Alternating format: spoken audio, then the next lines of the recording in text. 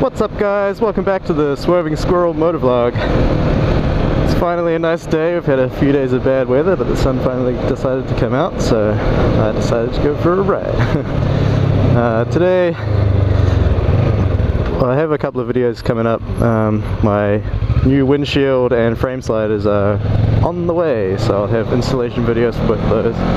Just a quick vlog today. I wanted to talk about why I decided to get a motorbike. Um, so I want to kind of elaborate on some of these subjects a little more in future videos, so this will be a quick one, but there's a few different reasons.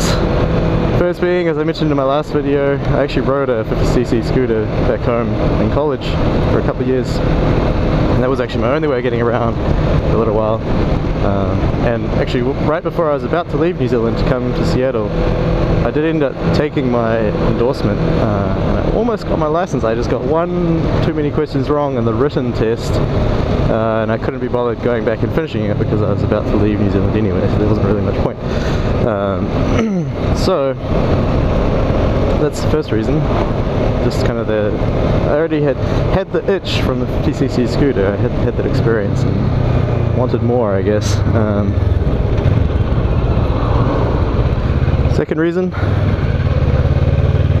I have my friend Erman who rides, who he was the one riding around with me the other day. Alright, I'm just gonna park up here somewhere. So my friend Erman rides he's always uh, telling me about his awesome ride that he did on the weekend. He likes going on big long rides out in the countryside, and I think I just really thought I would enjoy that too, because uh, I love being in nature. And hearing him talk about it all the time really made me want to get a bike. um, third reason.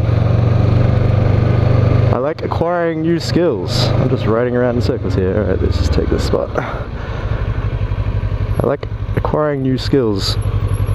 Uh, for example, I want to get my uh, my scuba certification soon, hopefully. This is no longer really a motor vlog, it's just a regular vlog, but that's okay. Let's go walk into the park.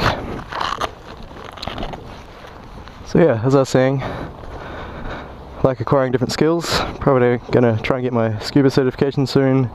Um, the thought of the idea of going and taking a class and learning how to ride a motorbike uh, was also really appealing to me. So uh, for that reason, I have kind of a bunch of random hobbies and things that I can kind of do to a mediocre, somewhat mediocre level, but uh, it's good. I really like learning new things, so that was reason number three. Alright, sorry about the interruption. As I was saying, last reason for riding, and probably have this in common with a lot of riders. Uh, like any human being, really, I, I uh, have stresses, and some days are better than others, and you need things to do that you can uh, help you unwind, you know. So uh, I really enjoy hiking, for example. So going out and being in the nature and just walking around and kind of having that alone time, I find find that really therapeutic, and and uh, I'm hoping that motorbike riding can have the same kind of effect. Um, you're kind of out in the nature, you know, you're not touching trees and really doing any physical exercise, but you are you're among nature, you know, you get the sun shining on your face, you've got the wind in your hair, of course wearing a helmet, but you know, you get the point. It's a really nice way to get out and about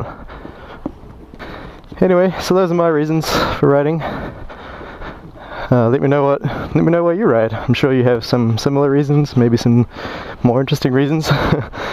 but uh, yeah, thanks for watching today, guys. Um, like I said, I have a couple of videos coming out for you within probably like a week. And uh, yeah, I'm going to actually show a little clip that I just took at the park here. Uh, perfect example of being out in nature. Um, it's a beautiful day here in Seattle. And uh, yeah, catch you guys next time. Peace.